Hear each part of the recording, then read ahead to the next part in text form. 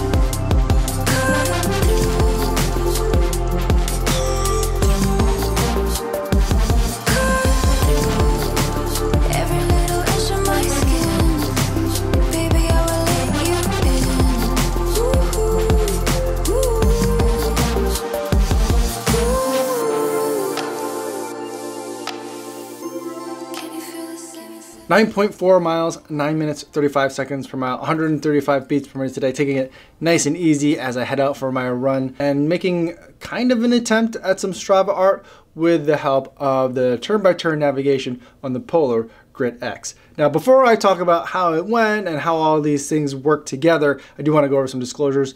The Polar Grit X is a watch that was sent to me for the purpose of review, so I didn't have to pay for it. However, no one's paying me to make this video or to use the watch, and no one's going to get a chance to preview any of my thoughts or footage until you guys get a chance to see this video on YouTube. So the idea for today was that I was going to uh, go on a route that it's a little bit different or a lot different than what I normally do. Normally I've been making several small loops around where I live. Uh, all my normal running routes are closed down for the moment. And uh, so rather than do my normal loops, the, where I kind of know where to turn, I mapped out a different route, something with a bunch of different turns that I would have to go over so that I couldn't memorize the route by any means and I have to rely solely on the watch and that's what I did today. It was supposed to be a little bit more than 11 miles for the route, but uh, right at the outset, I forgot that I'd made a couple of different loops for the day, and I forgot which one I had ultimately set, settled in on,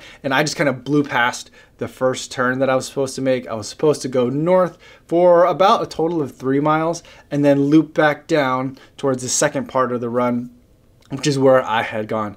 And so I guess from the outset, that's part of the strength and the weakness of the way that the Polars turn-by-turn navigation worked is that uh, it didn't tell me that I'd missed like my first like third uh, of the route. And instead, because that route like looped around and I was at that loop around point and started going towards like this kind of the second portion of the run, it had kind of assumed, okay, uh, I had decided to cut out that part of the route and it picked up right at that second part. And so like the nice thing about it is you can set up a route and you can have a plan, but if you need to change that plan like on the day or when you finally get out there to the trail or to the route that you're on and want to pick up at a certain point in the route, um, it's not going to be like, hey, go back to point one, go back to point one, go back to point one. It's going to say, oh, you're at point like 15 uh, out of 45 all right, we'll pick it up from point 15. So that's what it did.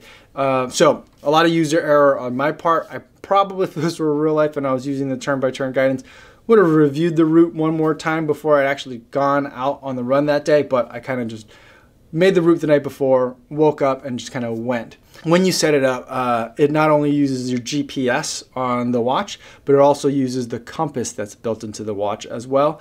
And so it, whenever you're running on it, um, you can see on your watch like where you are in regards to the route and you get to see a little bit ahead of you in terms of what's coming up soon. The compass and the GPS are working together to make sure you're staying on the exact same path. Once the route guidance did pick up, I had a bunch of turns set and that was intentional again to make sure that I was gonna have to make a lot of turns and it would be really obvious if I missed a turn. It gives you two notifications, one when you're about like 100 feet away from the turn and then another one when you're at the turn and it'll tell you like turn right, turn hard right, turn soft right. The ultimate thing for me being like I get lost when I'm ever I'm running in a trail.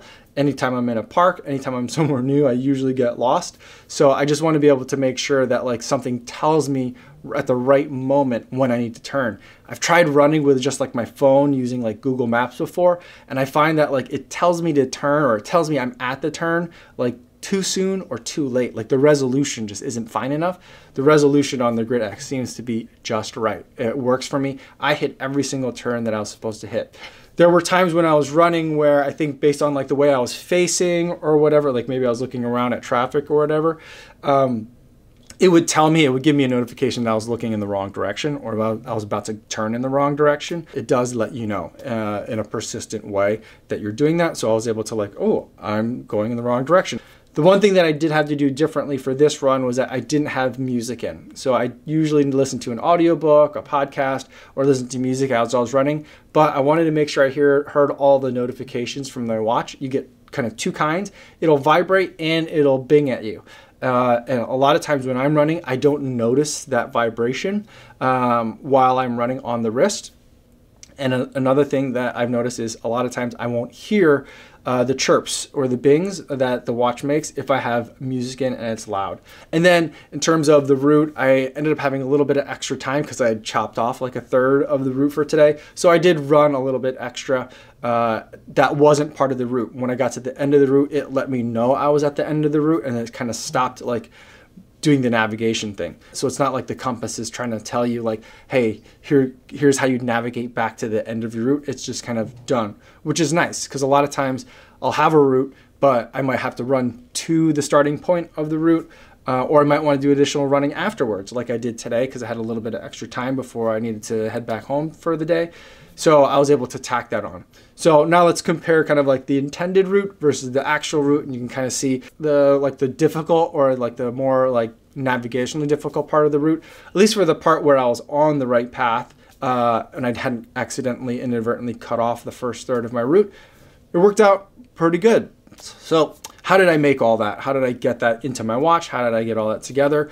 Um, it's uh, you make the route in Komoot K O M O O T uh, is the app that you're going to use. You're going to have to sign up for an account there.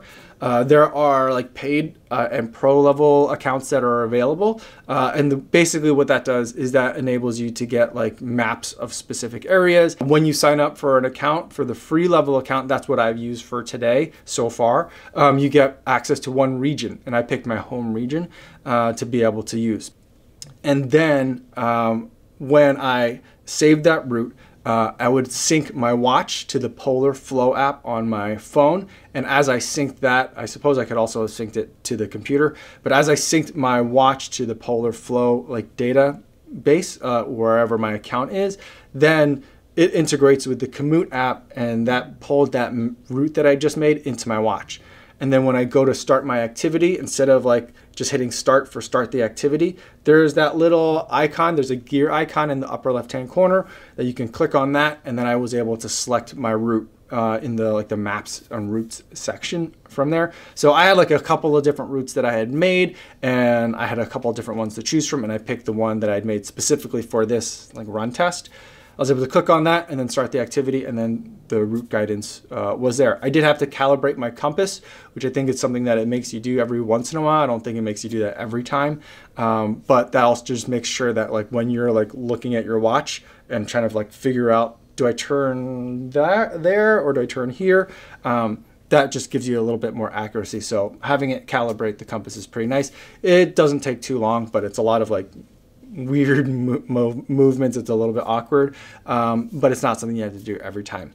Making the routes on Komoot was a little bit difficult. Now I've done a couple of other like route making apps before. The one I typically use whenever I'm kind of exploring a new city is uh, Map My Run because uh, that's one that I'd used uh, for a long time before I even had uh, started using running watches.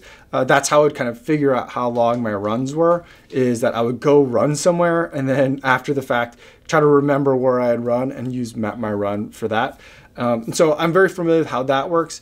And the the difficulty with a lot of these um, mapping apps is that you kind of like tell it like here's the different places I had been and you hope that like from point A to point B that you've like clicked on that it tracks and follows a route that is similar to what you actually ran or in this case what you hope to run.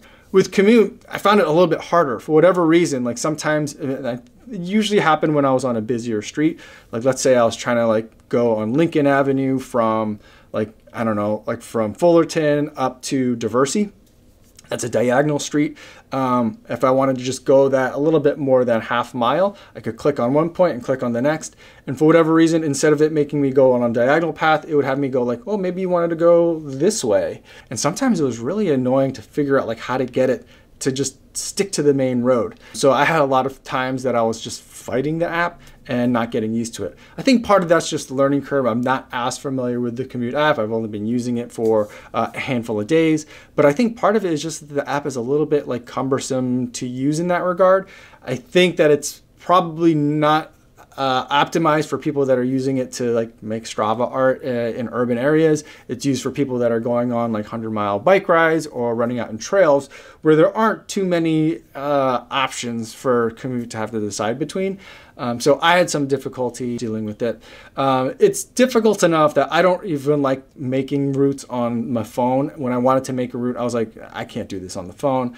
I got to go and sit down at a laptop and do it because the desktop interface was a little bit easier to use and kind of avoid that kind of like the root stickiness problem. It just wanted to do what it wanted to do and not where I wanted to tell it to go uh, a lot of the time. So I was a little bit frustrated by that. Hopefully that's something in the user interface that can be improved, but ultimately it gets me where I need to go. I look forward to the time when I can start venturing out further away from kind of my home base in terms of going out for runs and activities because um, I'd like to be able to put it on some trails and see how it does there, like on my normal lakefront route.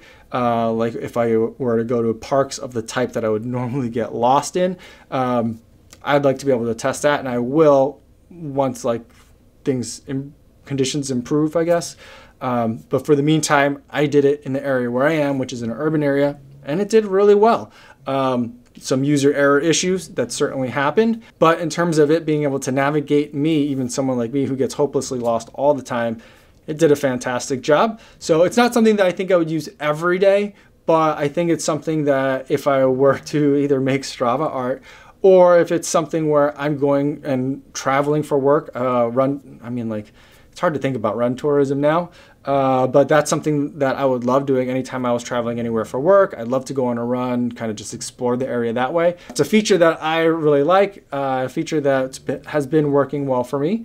And uh, I just wanted to let you guys know about it as I'm testing a lot of the different new features that are available on the Polar Grit X. So those are my thoughts on the turn-by-turn navigation on the Polar Grit X. Let me know in the comments if you have any other questions. I'd love to talk about it more down there. Uh, that's all I have for today, everybody. Thanks so much for making it all the way to the end of the video. Hope you're getting your runs in and staying safe, and I will see you in the next one. Yo, what's going on?